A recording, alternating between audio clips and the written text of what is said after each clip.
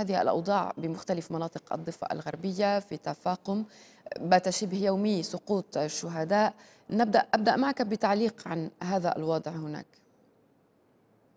يعني استمرار وتوسيع لحرب الاستنزاف الشاملة التي تخوضها إسرائيل ضد الشعب الفلسطيني في الضفة الغربية بالتزامن مع حرب الإبادة التي تشنها أيضا في قطاع آه، غزة. ما يجري في الضفة الغربية منذ ما قبل السابع من أكتوبر وازداد واتسع ما بعد السابع من أكتوبر هو عملية لتدمير آه، كل مقومات أيضا الحياة ولا سيما في محيط المخيمات. تدمير للبنى التحتية تجريف للطرقات لشبكات الاتصال شبكات المياه شبكات الكهرباء وتعاد الكرة أحيانا مرتين في اليوم. يعني التدمير يتم أحيانا أكثر من مرة في اليوم بعد عمليات الترميم والإصلاح التي تجري. وهذا يؤدي إلى إنهاك المجتمع يعني المجتمعات المحلية إنهاك سكان المخيمات دفعهم لمحاولة التفكير بمغادرة الحيز المكاني للمخيم إلى خارج يعني المخيم وخصوصا في المناطق التي تشهد ضغطا متواصلا مثل مخيم جنين وكذلك مخيمات آه، طول كرم نور شمس وطول كرم.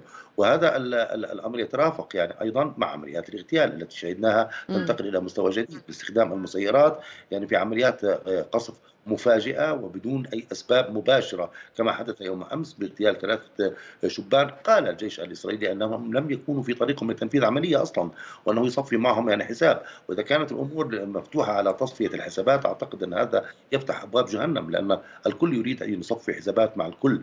وأكثر طرف يعني يفترض أن يصفي حساباته المفتوحة مع إسرائيل هو الشعب الفلسطيني. وهذا يعني بمعنى من المعاني يؤدي إلى يعني استمرار المقاومة يعني الفلسطينية في الرد على ما تقوم به قوات الاحتلال وكذلك ما يقوم به المستوطنون من عمليات واسعة النطاق في الضفة الغربية وخاصة أنهم يشكلون رأس الحربة في حربة في عمليات التهجير القسري التي تشهدها مناطق واسعة في الضفة الغربية في المنطقة المصنفة جيم.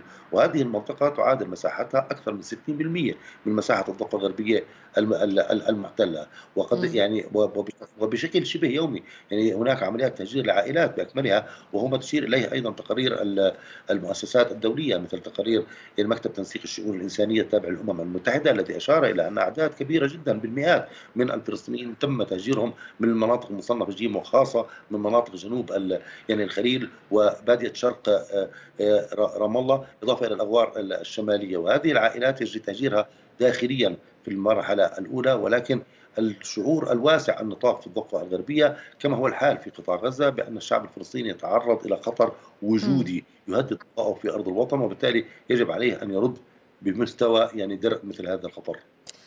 اليوم زيارة لوزير الخارجية الأمريكي للقاهرة قمة سداسية. ماذا ستحمل يعني مختلفا أو ما يجب أن نركز عليه خلال هذه الجولة؟ يعني بالتأكيد من مثل يعني هذا اللقاء مهم من زاوية إعادة طرح الموقف العربي الموحد، السداسية العربية سوف تعيد التأكيد على المطالب المعروفة يعني عربيا والتي سبق أن قدمت أيضا من خلال المجموعة العربية في يعني محاولات متكررة لاستصدار قرارات في مجلس الأمن عطلتها الولايات المتحدة في كلها. أي ضرورة أن يقف يتوقف هذا العدوان المستمر بدعم من الولايات المتحدة. ضرورة أن تدخل مساعدات إلى قطاع غزة. وكذلك ضرورة أن يكون هناك وهذا ما يهم الجانب الفلسطيني أن يكون هناك دعم للسلطة الفلسطينية لكي تستأنف يعني عملها بشكل موحد في الضفة الغربية وقطاع غزة. وخاصة أن الرئيس الفلسطيني ذهب إلى خطوة آه، تكليف رئيس وزراء الدكتور محمد مصطفى كرئيس وزراء جديد لتشكيل حكومة تكنوقراط وهو بحاجة إلى دعم عربي يعني وموقف يعني دولي داعم لمهمات هذه الحكومة وخاصة فيما يتعلق بما يعرف باسم اليوم التالي أي عمليات الإغاثة آه، آه، واسعة النطاق المطلوبة في قطاع غزة وعمليات إعادة الإعمار والبناء أيضا في قطاع آه، غزة. ولذلك أعتقد أن يعني السلطة قد تكون قد نجحت في الحصول على دعم يعني آه، آه، عربي لمثل هذه الخطوة حتى وإن كانت هناك بعض الملاحظات من قبل الدول العربية. لكن الرئيس الفلسطيني خاصة في غياب التوافق الفلسطيني الداخلي وعدم وجود شرعية لا لحكومته ولا له يعني شخصيا يعني آه، يحتاج إلى مثل هذا الدعم الإقليمي والدعم الدولي. لكن إلى أي مدى تستطيع الولايات المتحدة أن تغادر مربع الاستمرار في دعم الموقف الإسرائيلي؟ هذا الأمر مشكوك فيه وخاصة أن الولايات المتحدة عمليا انتقلت للبحث في تفاصيل العملية البرية آه، في آه، في رفح. يعني لا على ما يبدو أن الولايات المتحدة أيضا يعني في خلال الأيام الأخيرة أظهرت تراجعا نحو الأسوأ في موقفها الداعم لإسرائيل. هناك تعطل. وتعثر في المفاوضات التي تجري للتوصل إلى صفقة تبادل الأسرى ووقف الإطلاق آه، النار. لا تبدو الولايات المتحدة تضغط على إسرائيل في هذا الأمر. تنتظر الولايات المتحدة وفدا يعني إسرائيليا إضافة إلى وزير الحرب الإسرائيلي للقدوم إلى واشنطن للبحث في تفاصيل خطة عسكرية لاجتياح لكن يعني هناك من يرى ما أنها ربما يعني بدأت بتحركات تترجم يعني تصريحاتها وموقفها يعني ال- ال- الجديد مثلا عند الحديث عن تقارير التي أفادت بإبطاء الجانب الأمريكي تسليم الأسلحة للجانب الإسرائيلي من جهة. الرئيس بايدن كان قد ذكر يعني قبل أسبوعين يعني كلاما جوهريا في في هذا الصدد. هو تحدث عن خطوط حمر. وعندما تحدث عن خطوط الحمر الخط الأحمر الأبرز الذي تحدث عنه هو الاستمرار في دعم إسرائيل، دعم إسرائيل بالمعنى السياسي ودعم إسرائيل بالمعنى العسكري، لا يمكن تخيل أن تقوم الولايات المتحدة يعني بوقف الدعم يعني العسكري. وهذه مفارقة مهمة يعني أن الولايات المتحدة تقوم الآن ببناء رصيف عائم. باستخدام الأنقاض أنقاض المنشآت والمباني التي دمرت بطائراتها وبقذائفها في قطاع غزة تستخدمها من أجل بناء رصيف لإدخال المساعدات الانسانيه للفلسطينيين، هي تدخل المساعدات العسكرية لإسرائيل لتقصف لكي تقصف الفلسطينيين وتقتلهم في قطاع غزة، ثم تستخدم الأنقاض يعني التي تسببت فيها أسلحتها من أجل بناء رصيف لإدخال مساعدات إنسانية للفلسطينيين، عمليا تؤدي في نهاية المطاف إلى حرف الأنظار عن الضغط المطلوب على إسرائيل لفتح المعابر البرية وليس يعني انتظار يعني مساعدات تلقى يعني بجوها وهذا موضوع الإلقاء المساعدات الجو الجوية يبدو أنه طوية أصلا يعني لم تعد الولايات تتحدث كثيرا عن انزال مساعدات يعني جوية. تتحدث الآن عن أسبوع عن أسبوعين للبدء في إنشاء هذا الرصيف يعني العائم والممر البحري من من قبرص، لا أعتقد أن هناك تغييرا جوهريا في الموقف الأمريكي حتى في فيما يتعلق بهذا الخصوص، ولكن كانت هناك تقارير إسرائيلية أشارت إلى قلق إسرائيلي من يعني إشارات وردت من الولايات المتحدة تقول مفادها أن الولايات المتحدة تواجه مشكلة يعني في استمرار إقناع حلفاء لها على مستوى العالم باستمرار تقديم الأسلحة وتصديرها إلى يعني إسرائيل.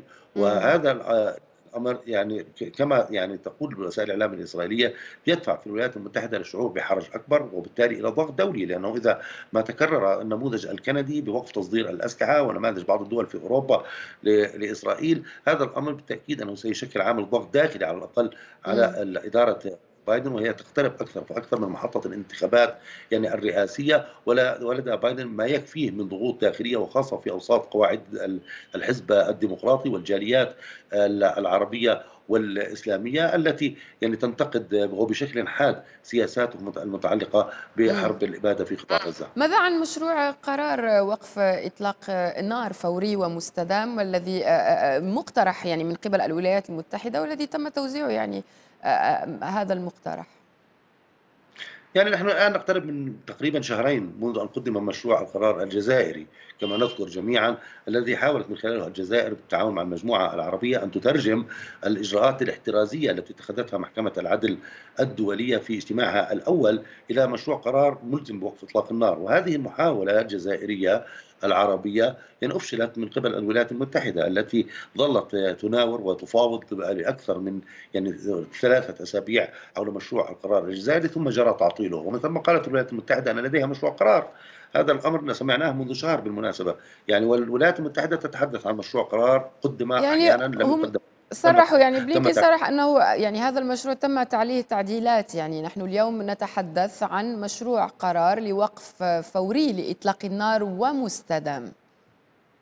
صحيح وهو مرتبط أيضا بموضوع ما تسميه إسرائيل الولايات المتحدة واسرائيل الرهائن الموجودين في قطاع غزة في إشارة للاسرى والمحتجزين الإسرائيليين الموجودين في قطاع غزة. بمعنى أن الولايات المتحدة حتى الآن تشتري وقتا لإدارة بايدن داخليا بسبب الضغوط الداخلية وتشتري وقتا تبيعه لإسرائيل.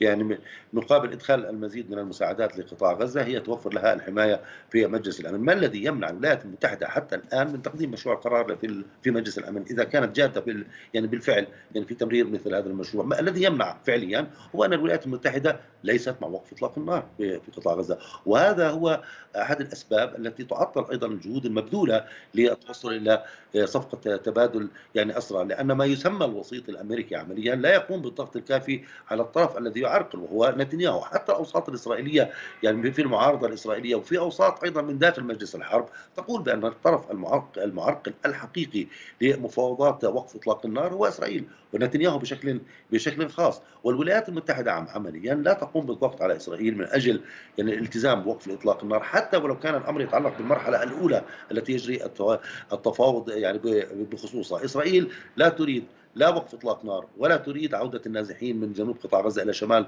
آه، قطاع غزة ولا تريد إعادة تموضع قواتها على الأقل في المرحلة الأولى خارج المناطق المكتظه يعني بالسكان ولا تريد أن تدخل المساعدات على نطاق واسع من خلال المعابر البرية التي تعرقل أو أو تعرقل الدخول منها خلالها أو أنها يعني تغلقها. ماذا تفعل الولايات المتحدة؟ هي تعطي إسرائيل الوقت الذي تحتاجه من أجل تحضير عملية برية آه، أو شكل ما من أشكال العملية البرية أو العملية العسكرية يعني في رفح وتبحث معها التفاصيل. ثم نسمع كلاما ان الولايات المتحدة وهي تبحث مع إسرائيل استمرار الحرب تريد أن تبطئ يعني إيصال المساعدات العسكرية. ولذلك يبدو الأمر متناقضا بالكامل. الموقف الحقيقي للولايات المتحدة هو يعني ما نراه لا ما نسمعه.